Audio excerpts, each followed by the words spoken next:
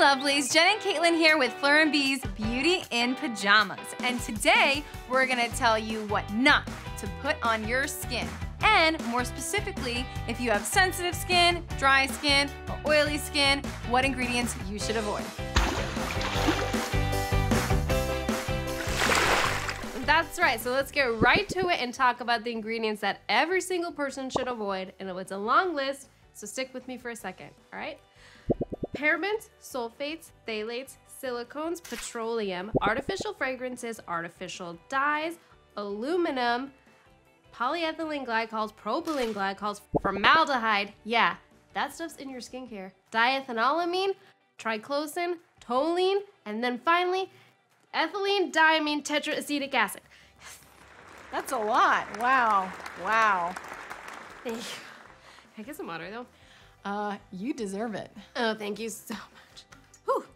So we're not gonna dive into each one of these right now. We are going to focus on the five main ones you wanna look for. That's right. First up are parabens. Now, you've probably heard about parabens before. They're synthetic preservatives that have been leaked to cause cancer, potentially. So you kind of want to avoid them.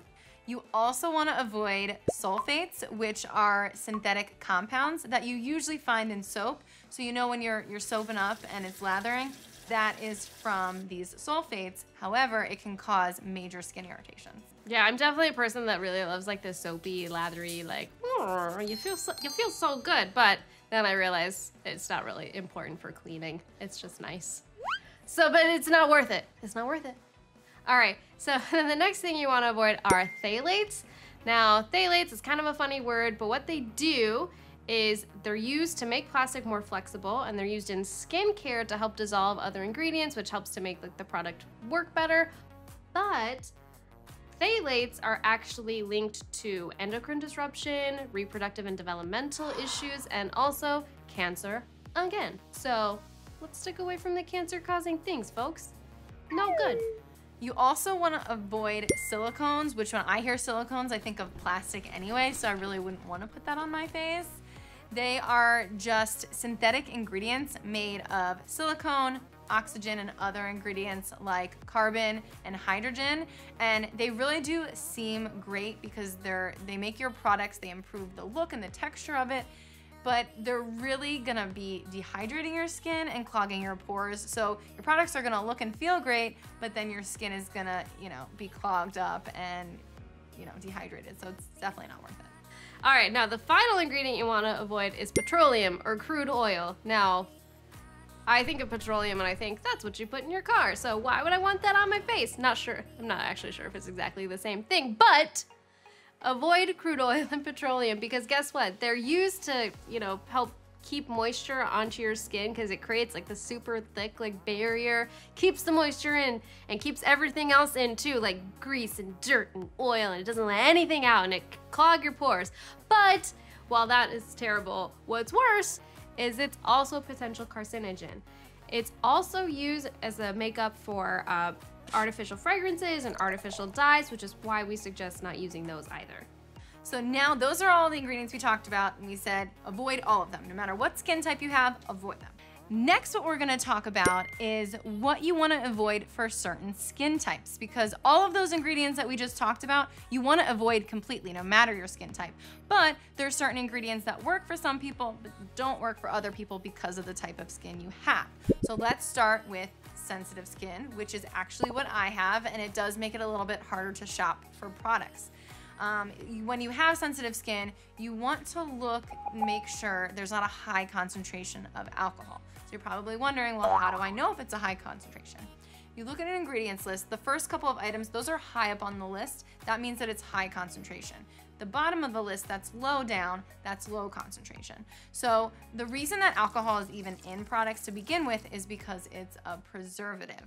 So that means that when you put your product on, it's gonna feel light, it's gonna go on very smooth, which is gonna feel great. But if you have sensitive skin like me, those products with high concentrations of alcohol may cause dryness, it could cause irritation, and even sometimes other issues as well. So it's better to just make sure that you avoid it. There are two types of alcohol. It's cetearyl and stearyl alcohol. And those are actually fatty alcohols, which sounds kind of funny, like they're fatty alcohols. um, but they are not gonna cause those issues. So if you see those on an ingredients list, don't worry about them. Great tip. Now, another ingredient that you want to avoid if you have sensitive skin, which may kind of surprise you, are essential oils. Now, here at Fleur Bee, we love essential oils. Essential oils have amazing skincare benefits, but if they're in high concentrations in your skincare products, they could actually irritate your sensitive skin. So if you have sensitive skin, look for essential oils that are lower on the ingredients list so there's not as much in there and you'll probably it'll probably work better for you. The other ingredient that you want to avoid that's really great for a lot of people is retinol or a stronger form of vitamin A. It has amazing anti-aging benefits. It can be great for your skin, but it can increase photosensitivity and it can also just make your skin more sensitive if you have sensitive skin already. So talk to your doctor before you start using retinol and you'll and see if it works for you. And you also want to avoid chemical sunscreen. And that's because it's full of chemical ingredients that create a barrier on your skin against the sun's rays. And that's great and everything, but there's other ways to do that to protect your skin from the sun without using those ingredients because they absorb very easily and they can disturb the natural hormone production that you have as well as cause an allergic reaction. And Caitlin and I know we've had many allergic reactions they're really not fun. It's not worth it to even risk it. Um, I have a whole album on my phone of my allergic reactions and it's just not fun. So you wanna avoid that if you can. Now, let's talk about what you should avoid if you have oily skin. One of the major ingredients to avoid is lanolin. Lanolin is a waxy substance that you get from sheep's wool. The reason it's used in a lot of moisturizers and as a moisturizing ingredient is because it mimics your skin's own sebum, which is great. Uh, but if you have oily skin already, it could lead to an overproduction of oil, thus making the problem even worse. And so you probably don't want to use it. And if this, if you, one easy way to avoid it is if you use a vegan product because it's an animal byproduct, it won't be in any vegan skincare. Last on this list, it's not really any of your beeswax. oh, that's a little rude. I feel like we should at least tell them what it is. No, it's actually beeswax.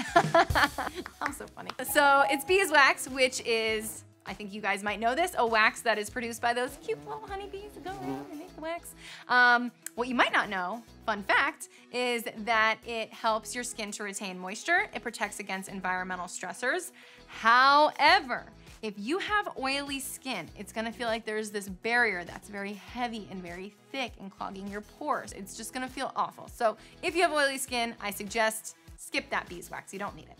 All right, now let's talk about dry skin. Now, we've not talked about this a lot um, before, but I have dry skin. So, like Jenna with her sensitive skin, I need to avoid products with high concentrations of alcohol in it. Specifically, toners. A lot of toners out there have a lot, have a high concentration of alcohol. So when you're shopping for a toner, start, look for like witch hazel, rose oil, and tea tree. Those are great natural toners, but make sure you check ingredients list because I was like Instacarting and I put some like witch hazel in my cart and I was like, oh yeah, witch hazel. I'm gonna like use it as a natural toner. Yay. And then I was using it and I was like, my skin's feeling super dry. And I looked at the ingredients and there was a bunch of alcohol in it and it just looks like it's supposed to be pure witch hazel, but it wasn't. Oh no, that's terrible. I hate when that happens. Um, so there's also these two words and they're gonna sound bad. They're gonna look bad and you're gonna know okay i want to i want to avoid them. So it's benzoyl peroxide and salicylic acid. That's because they're commonly found in acne treatment so they're gonna be drying and irritating all right, now you've probably heard all of these ingredients that we've just listed and thought like, how the heck am I supposed to avoid all of these? And it's actually not that hard. Uh, just check your ingredients list. There's a lot of options out there that are natural, botanically sourced, and effective that don't have a lot of these ingredients in them. And you can have a great, a great regimen and avoid all of these nasty, nasty stuff. Nasty things. Nasty. So we really hope that you are now able to know which ingredients to avoid in your skincare regimen.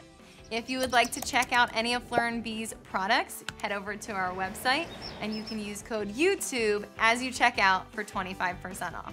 All right, thanks everybody for watching. Be sure, be sure to subscribe to our channel, check out our blog, follow us on social. We got a lot of awesome skincare tips out there. So